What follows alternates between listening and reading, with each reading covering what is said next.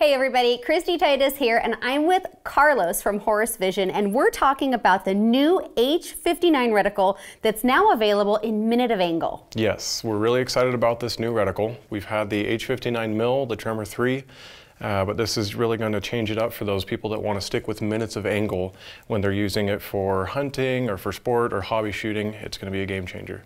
Let's take a deep dive in this reticle and check it out.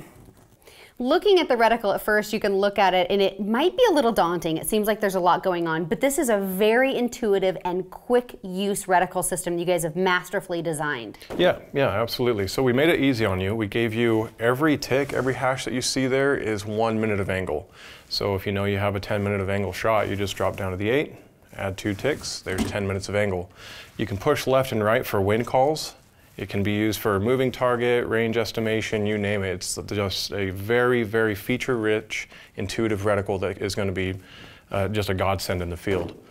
When we're out in the elements or hunting in the elements, there's conditions that sometimes cause our rangefinders not to work. This reticle system actually has kind of that plan B that will help you range estimate and engage a target accurately. Exactly. So starting at five minutes of angle and working its way down to two minutes of angle, we've incorporated our patented rapid ranging bars that work for a known target size. So you don't exactly have to know the exact range to your target, you just have to know the size. So let's just say, for example, I have a 20 inch target and I can bracket it from here to there and it fits perfectly, I can then use the free Horus Ballistics app to get my range.